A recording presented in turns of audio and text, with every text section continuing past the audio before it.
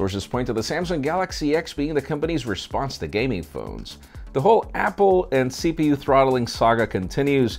Looks like the Twilight movies, but apparently there is a solution. And the Trump tax war continues as well, and this time it might affect iPhones coming to China and from. I'm Jaime Rivera, and definitely this day is crazy. We had a great comparison last night, we've got more coming up soon. This is Pocketnow Daily. The official news today begin with the Trump tax war in China, now including iPhones, and I mean the current iPhones. It seems the US government has discovered that iPhones make 9% of smartphones in China, which I believe is actually a larger number. Um, and he considers that now he can tax the phones going into China and also the phones being sold in the United States. Obviously, this means that if this happens, smartphones will get expensive because if you think about it, how is Apple just going to allow itself to be taxed? and not allow every other company to be taxed after this. What do you guys think? Let us know in the comments.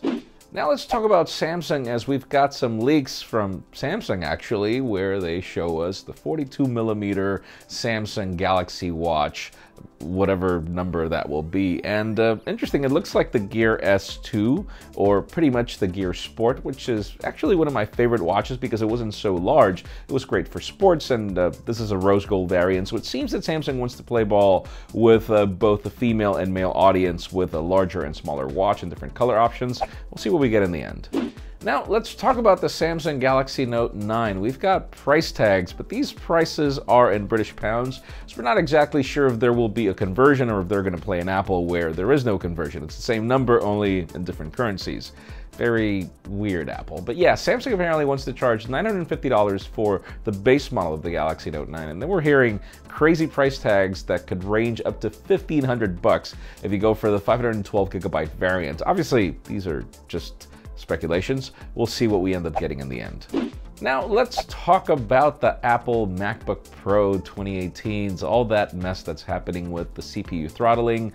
We've got videos claiming that it overheats. We've got other videos claiming that yes, of course it overheats, but if you're using Premiere, that's the reason. You can use Final Cut and you can avoid that, and that makes a lot of sense, even though people don't buy Apple products just to use Apple software. But the thing about it is, there is this uh, feed on Reddit that shows that apparently it's a voltage issue, that if Apple would fix the voltage problems that could actually be fixed with software, then the CPU would allocate as much power as it needs and therefore not need to overheat. I'm not an expert. Let us know in the comments if you know about this. Hopefully that is a solution.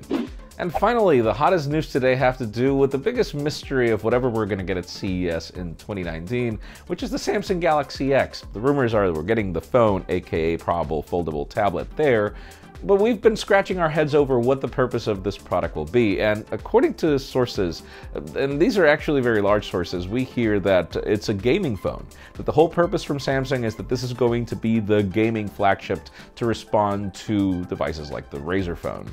Whether that is going to be the case or not, you know, it actually makes sense to me, the fact that we can turn it into a tablet and use it as a gaming phone. If you think about it, you've got a larger canvas, but in today's question, let us know, what do you think? I mean, would you consider this a good idea for gaming phone one? And two, what would the price tag be? I mean, this is new technology and you know the way things go. Leave us a comment down below. We'd love to know your opinion. Friends, again, if you want to get the news earlier, follow us on PocketNow.com and subscribe to our channel for more videos like this one. Make sure you also catch our Pocketnow a diario this video in Spanish, in addition to yesterday's Pocketnow Daily. You can follow me on Twitter, Jaime underscore Rivera, on Instagram at Jaime Rivera. Please give this video a thumbs up if you like what you saw. I'm Jaime Rivera. Thanks so much for watching. We'll see you tomorrow.